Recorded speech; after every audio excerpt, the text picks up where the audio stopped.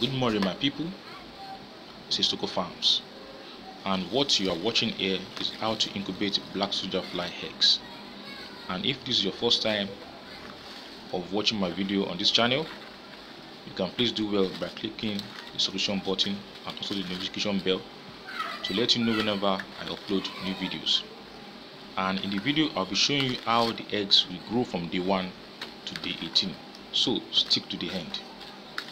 Now what i'm mixing over there is waste chicken feed with water. Waste chicken feed with water. The leftover of what the chicken are eating. So as you can see i'm putting it right at the center of the bowl not too close to the bowl. Because if you do that when the eggs hatched they use their medium to climb out of the bowl. As you can see and whenever I use anything like maybe chicken feed waste chicken feed to grow them from day one it makes them grow faster in five days. After that you spread your dry feed all around the wet feed.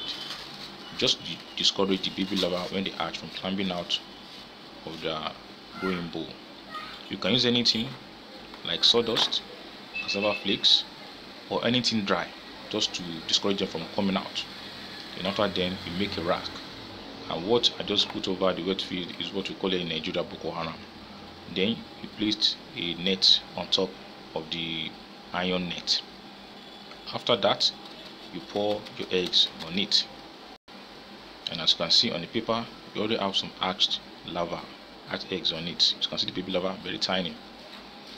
And once again if you are new to my channel please do well to click the subscription button.